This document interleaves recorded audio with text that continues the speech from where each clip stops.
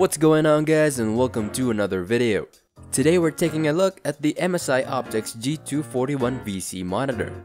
We're gonna be checking its features, do some simple tests, and find out if you should even buy it. Now let's get to it.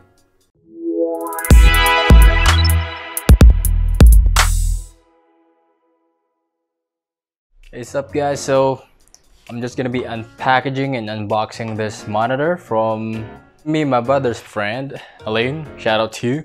I want to get the unpackaging process documented just so that it's 100% clear that any damage right out of the packaging is not on me. And yeah, that's pretty much it.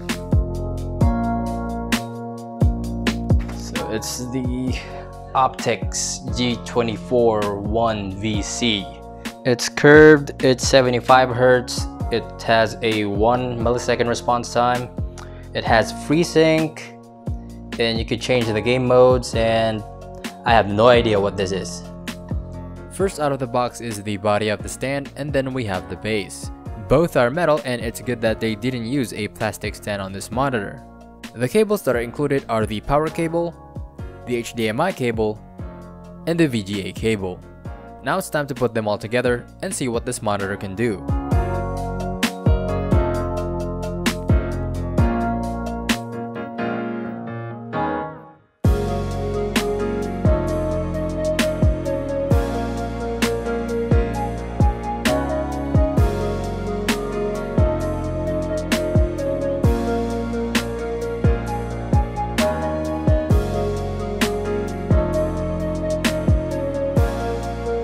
This monitor was released back in April 2019.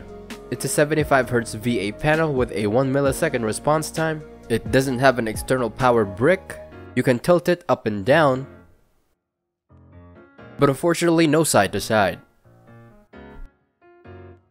The metal stand really feels durable and sturdy, and so when you shake your table or accidentally bump it, your monitor doesn't really wobble as much. Unfortunately, it's not VESA mount compatible, but there's an option to buy an MSI wall mount adapter separately if you really need it. As for dead pixels, I wasn't able to find any which was really fortunate because this monitor is actually for a friend. For backlight bleeding, which I know some of you are really eager to know, I find it hard to be able to distinguish, especially in this video, but it's totally different from what I see in person. Uh, there's actually almost none if you'd ask me. As for ghosting, if my understanding is correct, it's when an object leaves a trail behind when moving. If that's the case, then I noticed some very mild ghosting, which is really not enough to be a deal breaker. Now I tried gaming on this monitor just to see if I will notice the difference between 144Hz and 75Hz because I've been gaming on a 7 rather I've been gaming on a 144Hz monitor for a while now and in my opinion yeah, it was a really noticeable difference dropping from 144 to 75 hertz, but still, the 75 hertz experience is still far more superior than um, going 60 hertz. So I think with the prices of 60 hertz monitor nowadays, the difference between a 60 hertz and a 75 hertz isn't really there isn't really a huge difference between them. So i think settling for a 60 hertz monitor it's just not worth it anymore nowadays. Also i also want to talk about one thing though. Um, this monitor right here being 75 hertz uh, it is a reputable brand msi it's 7000 pesos i think. I forgot what exactly the price point is but it's somewhere along those lines 7 to 7.5k and the HKC monitor that I have the 144 hertz at first I had I was having issues with it but then the issue started to disappear. Maybe the cable was just loose or something. But yeah I got that monitor for 9,000 to be exact or rather 9,081 pesos but my brother told me to just pay 9,000 flat. So if you're gonna ask me honestly if should I even go with this or just go straight for the HKC that I have right now for 9,000 pesos?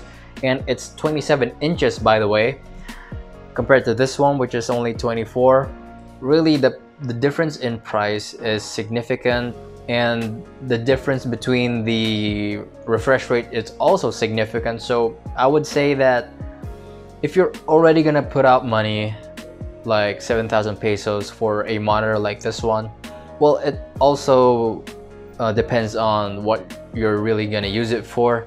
But if you're really into gaming and especially first-person shooter games, I would highly recommend just going for the monitor like the monitor that I have, the HKC, I forgot what the exact um, model is, but it's the HKC M27G3F monitor. Yeah, that's the one.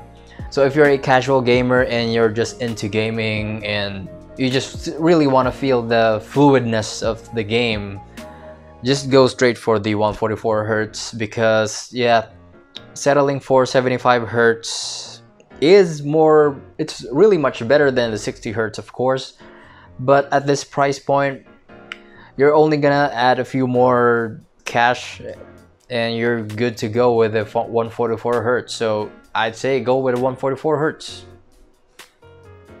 That's just my opinion though. But then again the experience gaming on a 75 hertz was was still a pretty good one. And yeah maybe i think if you could if you're gonna buy it secondhand i think for a much lower price maybe around 5k something like that. Maybe that's a reasonable price and that's a reasonable move. Is it well it's really just a case-to-case -case basis if you're someone who could settle for 75 hertz then this monitor is for you but if you're someone who's especially if you have a system that's um, dishing out a good high FPS on most games, then really you should really go for 144 hertz. Otherwise, you, you, you're just having a huge bottleneck with your monitor. If your system is putting out 144 FPS above and you're playing with a you're playing on a 75 hertz monitor, then you're really not getting what your system is um, putting out.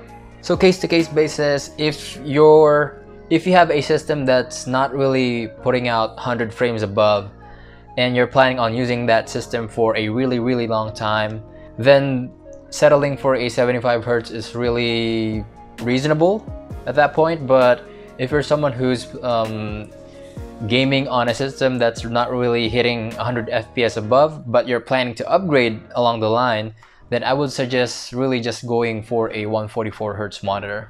Otherwise you'll just be wasting money. Because if you buy a 75Hz and then plan on upgrading in the future you're gonna sell that monitor for less than really less than what it was worth. So yeah that's my take on it. So ano ba gusto kong sabihin also um, I did mention the HKC monitor in this video so I'll also be doing a specific review for that monitor because I did um, I did a video about it and it was actually my very first video but it was only a first impression thing. It wasn't really a review. I didn't really check the specifications. I didn't really check the performance. And it's also not in English and so I would really think that people would prefer to have that video and be in English. And so stay tuned for that video. It's gonna come out very soon. Hopefully hopefully really soon. But yeah hope this video was helpful to you guys. And if you guys want more content like this going your way do subscribe to the channel. And i'll see you guys on the next video